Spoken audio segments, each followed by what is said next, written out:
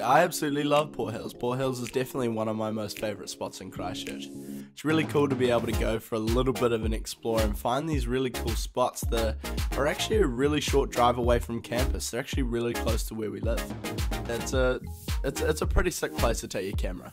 At the end of the day, I often like to catch the last few hours of light up there.